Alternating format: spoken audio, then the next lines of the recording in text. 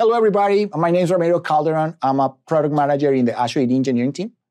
Hi, everybody. And my name is Michael Epping, and I'm a product manager also in the Azure AD engineering team. So in the previous video, we were watching how can you use Azure AD for single sign-on and seamless experience uh, for the users. But there is another whole angle to take things to the next level around the security posture and how you can use um, those security controls in Mac OS. So, Michael, what do we have there? Yeah, so it's often that we talk to our customers who have Mac OS about securing their deployment on top, on top of the user experience. And this really comes down to applying zero trust principles to our Macs, just like we might be doing with Windows devices, iOS, Android, et cetera. So for Macs, this really boils down to deploying an MDM to manage them, and then making sure that the MDM is integrated with the identity system. Right. Uh, if we think about our zero trust principles, we want to do things like verify every access attempt, make sure that users are coming from devices that are under management and that are in a healthy and good state and a known state.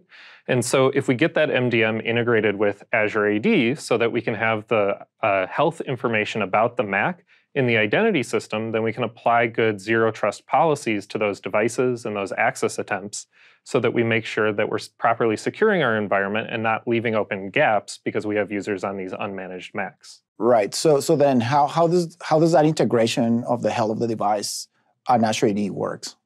Yeah, so there's a, a couple different ways that this can function. So let me show this.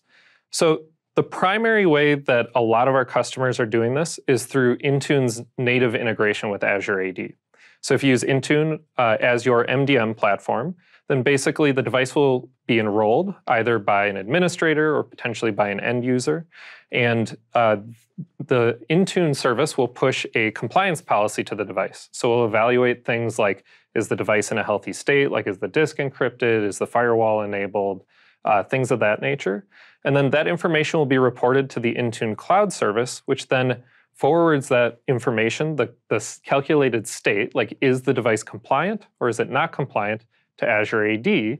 And then when the user signs in, we can evaluate uh, based on what device they're on if they're in a healthy state or if we need to stop their access because there's an issue with the device. Yeah, that's where the same concept of conditional access, when you check on the controls, you say device required compliant device, that, that is where this kick in. Exactly. Gotcha. So in that case, it's very similar to the existing platforms like Windows, iOS, Android, and it's just basically following the same model. Correct. So what happens, like a lot of my customers uh, also use uh, the third-party MDM system. So how, how does it that interact with, with, this, uh, with this service?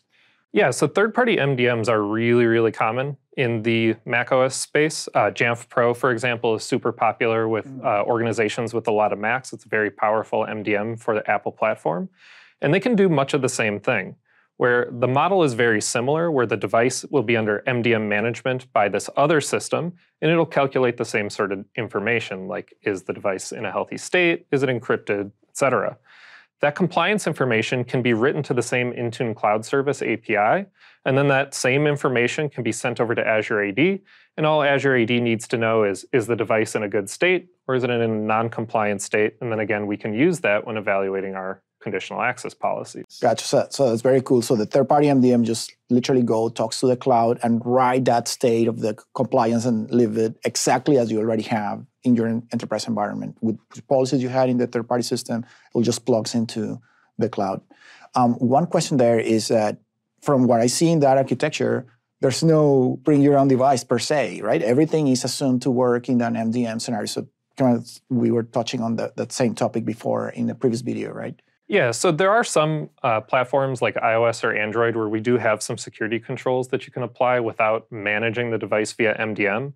Uh, we don't have the same sort of capability on macOS, so good security on macOS really does boil down to a couple things, with MDM management probably being the thing that's most crucial.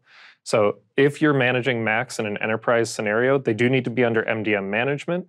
And then we think that all customers, if possible, should be trying to get that MDM integrated with Azure AD so that the information's fed through to the identity system. Right, so exactly the same kind of deploying um, prerequisites. If you want a seamless experience for your users, go and deploy the SSO extension, which relies on you having an MDM, which is what you need in order to uh, manage your devices, which is in turn what you need to communicate that state and, and get a more zero trust policy approach to your security posture. Right. We want customers to do both sides improve the user experience with the SSO extension, and then use the same MDM they're using to deploy the SSO extension to help improve the security posture of their Macs. Right. So basically, uh, very straightforward set of steps for, for customers who already are managing their Macs anyway.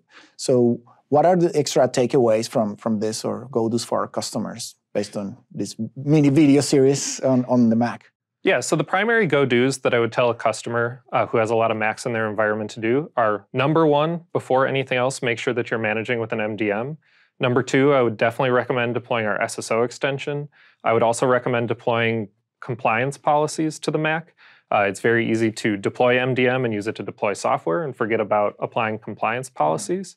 And if you do all these steps, then you'll have a well integrated Mac OS system uh, so that you can do the types of zero trust policies that are really common across other OS platforms. All right, so there you have it, folks. Very straightforward set of capabilities for macOS. Uh, hopefully, you find these useful and uh, look forward to talk to more topics in the future. Thank you. Thank you.